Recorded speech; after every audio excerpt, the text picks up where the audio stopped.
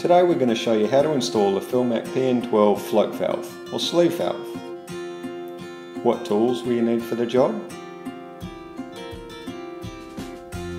The Philmac PN12 float valve, PTFE thread tape and a plastic float.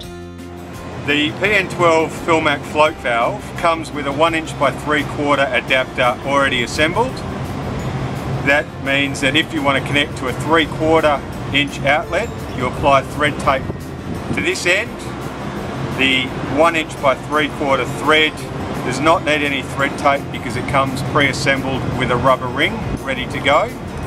However, if you want, as we will in this case, to use a 1 inch connection, you take off your adapter, there's no need for that. Thread tape to the 1 inch connection. So we're going to do 5 to 8 layers of thread tape all the way around the thread.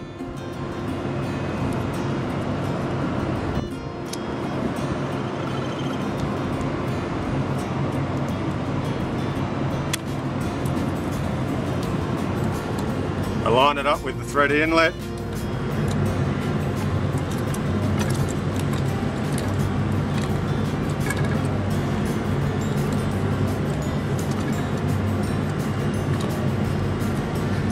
Until it's firm and ensuring that the outlet is facing down. So now we're going to install the float on the arm.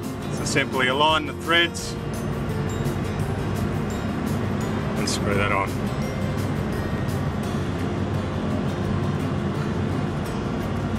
Until firm.